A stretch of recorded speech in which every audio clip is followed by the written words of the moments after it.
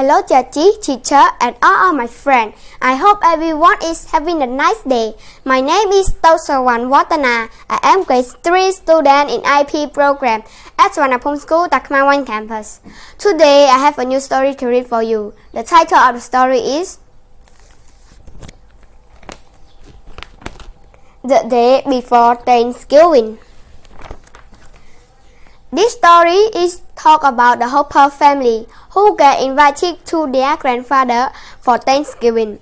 Thanksgiving is a special day in America where they celebrate being thankful for everything they have. The purpose of this story is to remind us that family are important. Please join me as I read this story. Now let's start to listening. The Hoppers awoke one late November morning, and the snow was falling outside. They jumped out of their beds and ran to the window. Come downstairs, Hopper, called Mother Hopper. There are letters here for you. The Hopper dashed downstairs. Let me read it, yes, Speedy Leg. Let me read it, shouted Fluffy Ears. I want to read it, hollered Fluffy Tail. A letter, a letter, said Snowy Nose, and he jumped up and down. I will read it, said Mother Hopper. She read the letter aloud. Dear Hopper, I invite you all to come to my house in the wood to spend Thanksgiving Day. Your loving Grandpa Grizzly. Thanksgiving at Grandpa Grizzly. Hooray! shouted Snowy Nose. Now it's time to wander up to go to school, said Mother Hopper. It is cold outside and snowing hard. Outside the wind blew and the snow fell.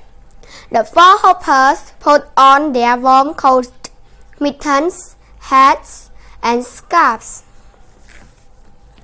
This is the biggest snowstorm I ever seen, said Speedy Leg.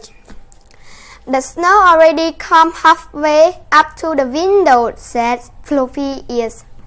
Let's get out, let out, said Fluffy Tail. We can't sled to school.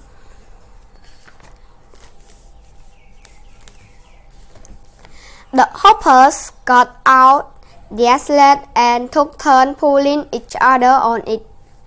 The, they sledded all the way to school. The snow was very deep and the wind was very cold. Once they were in school, the snow came down harder and harder.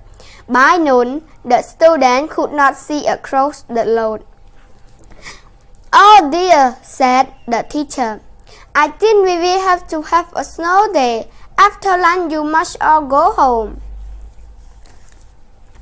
After lunch, the hoppers ran out of the school to find their sled but the snow had become so deep that they could not find it. Sled is boring, cried Fluffy Tail. We have to walk home, said Speedy Leg. The four hoppers walked bravely through the snowstorm. At first, they played in the snow. They threw snowball and made snow angels.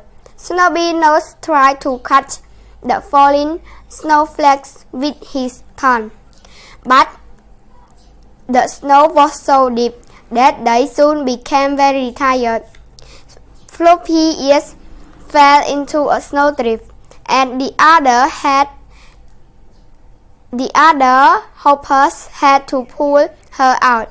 Then Snowy Nose slipped and fell and hurt his chin.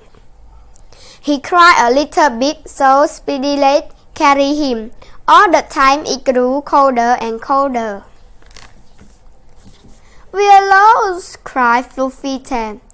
I think it's beginning to get dark, moaned Fluffy Ears. And the snow just keep coming down, said Speedy Leg.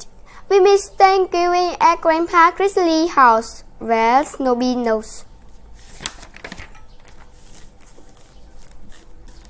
It was very cold, and the hoppers all stood in a circle trying to keep warm. The wind blew and the snow fell all around. Suddenly, they heard a loud rumbling noise and they saw a bright light coming toward them. What is that? cried Fluffy Tam. It's a train, said Fluffy Ears. It's a truck, yes, Speedy Leg. We'll be run over, cried Snowy Nose. The light, the light and the rumble stopped right in front of the hoppers. Bless my fall, called a voice from behind the light. Here are four hoppers out in the blizzard. It's Grandpa Grizzly in his big snowplow, said Snowy Nose. Well, so? All four hoppers lived inside Grandpa Grizzly's snowplow. They set up high where the plow pushed a path through the snowstorm. It carried them all the way back home. Go and get mother and papa Hopper speedily, say Speedy, say Grandpa Grizzly, and tell them to pack their overnight bag. You all can stay at my house tonight. We will sit by the fire and have hot cocoa.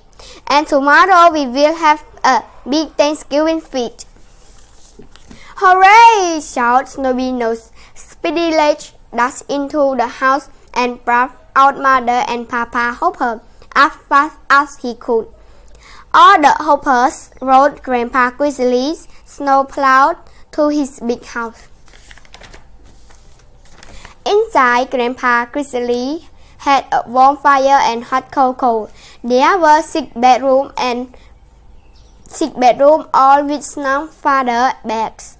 The next day, they all had a wonderful Thanksgiving feast. This is the end of the story. What do you think? The Hopper was so excited to go to their grandfather for Thanksgiving. Even when they got lost in the snow, they did not give up and they helped each other. From this story, I have, I have learned how important it is to work together and do not give up. I am sure they were thankful for each other and thank, at Thanksgiving. I am thankful for my family and my friends too. What are you thankful for? Thank you for your listening. Stay safe together. Goodbye. សាលារៀនសុវណ្ណភូមិជាសាលាចំណេះទូទៅខ្មែរធំជាងគេ និងល្អជាងគេនៅកម្ពុជា